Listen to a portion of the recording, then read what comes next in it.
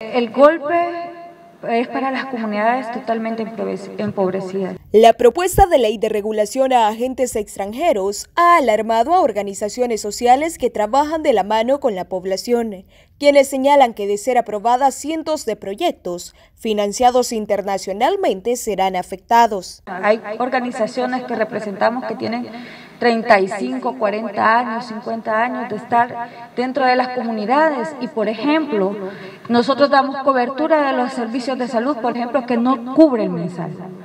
Quienes hemos acompañado y hemos expuesto todas las situaciones de violencia que viven las mujeres y nos hemos sentado a discutir marcos jurídicos y propuestos en la, en la Asamblea Legislativa ha sido estas organizaciones sociales. Y es que uno de los países contribuyentes a El Salvador ya se ha pronunciado.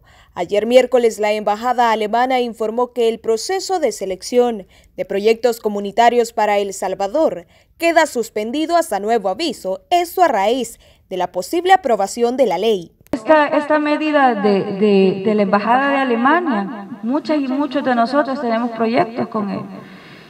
¿Y a quién va a afectar? Es a la familia. Lo de la Embajada de Alemania es una señal clara de que aquí habría una caída estrepitosa de la cooperación. La comunidad internacional no está de acuerdo y ve, no ve con buenos ojos esta propuesta de ley.